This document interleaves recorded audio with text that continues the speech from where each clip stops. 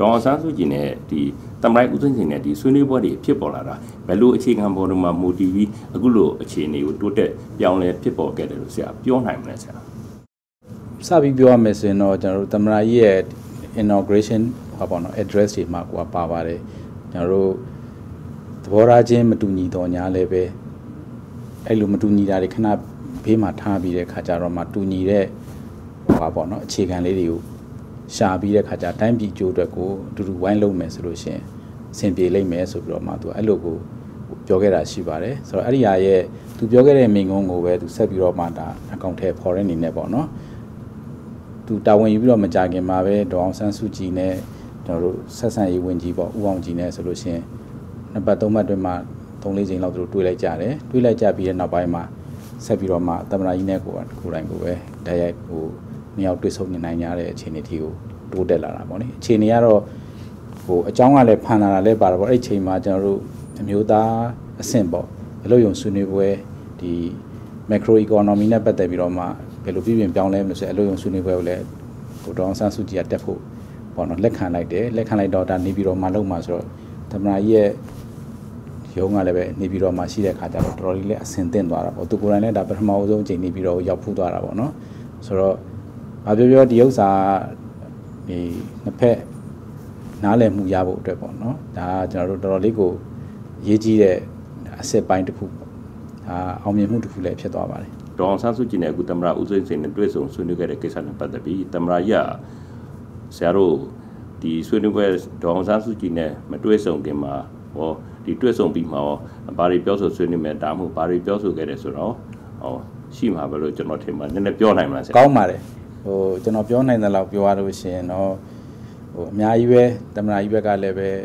ဟိုအားရကျေနပ်မှုရှိပါတယ်ဒေါအောင်ဆန်းစုကြည်ဘက်ကလည်းပဲသူအနေနဲ့အားရကျေနပ်မှုရှိတယ်လို့ပြောပါတယ်အဲ့တော့တိတ်ကြီးတော့အသေးစိတ်ဘာတွေပြောကြတယ်ဆိုတော့ကျွန်တော်မသိရဘူးပေါ့နော်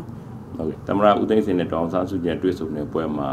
ဗိုလ်ချုပ်အောင်ဆန်းရဲ့တပ်ပုံတွေပါလေအထင်ကြီးချိန်ဆွဲပြသထားတာတွေ့တဲ့အခါမှာအဲတော်တော်လေးကို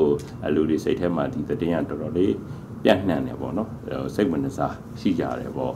အဲဒီလိုဒီလိုအဲတော့ဘိုးကျော်အောင်ဆိုင်ရဲ့ပုံသမရဦးသိန်းစေအိမ်မှာဒီချိန်ဆွဲတဲ့ကိစ္စပေါ့ဆရာနည်းနည်းဘာများဆရာများပြောနိုင်မလဲဆရာဘာတွေများသိလဲကျွန်တော်ပြောရလို့ရှင်တော့ဒါကတချို့ကလည်းပဲဒါ media stand လို့ပြောကြတယ်ပေါ့နော်မဟုတ်ပါဘူးကျွန်တော်အဲ့ဒီမတိုင်ခင်ကဒေါအောင်ဆန်းစုကြည်နဲ့သမရိုင်းနဲ့မတွေ့ခင်ကတည်းကကျွန်တော်သမရိုင်းရုံငန်းနဲ့ပေါ့နော်သူရဲ့ office ထဲမှာရောက်ဖူးပါတယ်ရောက်တဲ့ချိန်မှာလည်းပဲအဲ့ဒီဓပုံကြီးအဲ့ဒီနေရာမှာချိန်ထားပြီးသားပါတော်တော်ကြာပါပြီဒါငကိုတွေက သူတို့တွေးဖို့အစီအစဉ်ရှိရမရှိရမသိခင်ငယ်တည်းကကျွန်တော်တို့ကဒီဟာရချိတ်ထားပြီးသားကျွန်တော်တောင်းမှပဲဟိုစပြီးတော့မှမြင်ငယ်တည်းကပဲနည်းနည်းလေးစိတ်ထဲမှာတော့ပေါ့နော်ဟိုတော်တော်လေးကိုသမနာကြီးရဲ့ဟို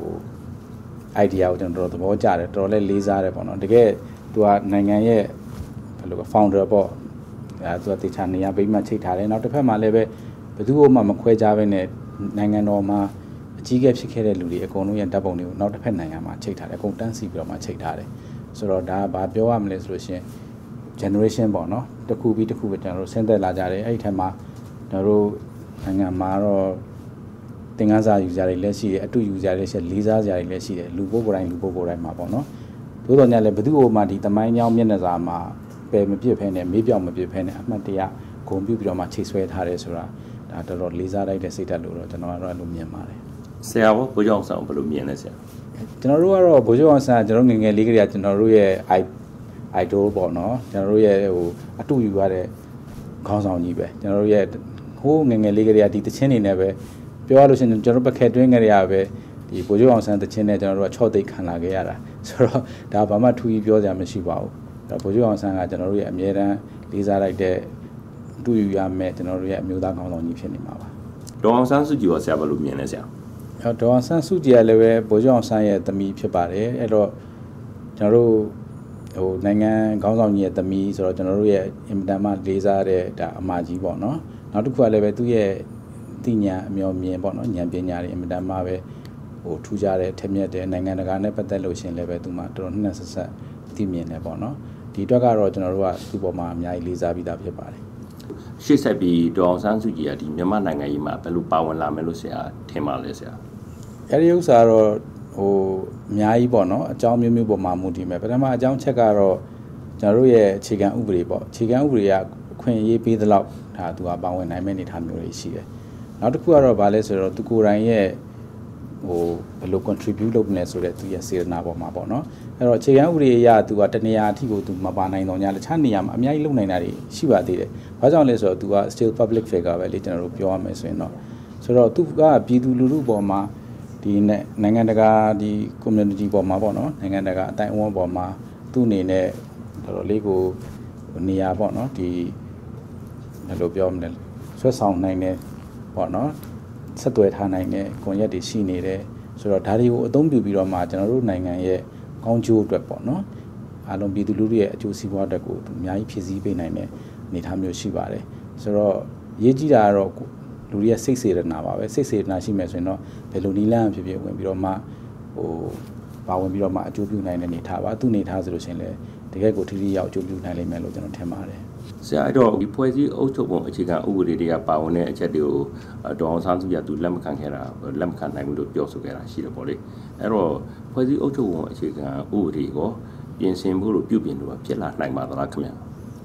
ခြေခံဥပဒေကလည်းဟိုပြင်လို့မရတဲ့အခြေခံဥပဒေဆိုတော့ဘယ်မှာမှမရှိပါဘူးအဲခြေပေါ်ခြေနေပေါ်မှာမူတည်ပြီးတော့အခြေခံဥပဒေဆိုတာလည်းပြင်ဆင်လာကြမှာပေါ့နော်ဥပမာဖြင့်ဆိုလို့ရှိရင်ကျွန်တော်တို့အင်ဒိုနီးရှားနိုင်ငံမှာစပြီးတော့မှပြည်ပြင်ပြောင်းလဲကစားအခြေခံဥပဒေရသူတို့လွှတ်တော်ထဲမှာတပ်မတော်သားကိုယ်စားလှယ်တွေအများကြီးပါခဲ့တာပဲအခုဆိုလို့ရှိရင်တပ်မတော်သားကိုယ်စားလှယ်လုံးဝမရှိတော့တဲ့အနေအထားမျိုးဒါပြုပြင်နိုင်ပြီပေါ့နော်ကျွန်တော်တို့ရဲ့အခြေခံဥပဒေမှာလည်းပြုပြင်နိုင်တဲ့ ပြည်ပြင်ဖို့အတွက်ခွင့်ပြုထားတဲ့ပုံမှန်တွေပါပြီးသားဖြစ်ပါတယ်အဲဒီပုံမှန်တွေအတိုင်းကျွန်တော်တို့ခြေရန်ဥပဒေပြင်ဆင်မှုကလည်းပဲဒါမဖြစ်လာနိုင်ကြတော့အကြောင်းမရှိပါဘူး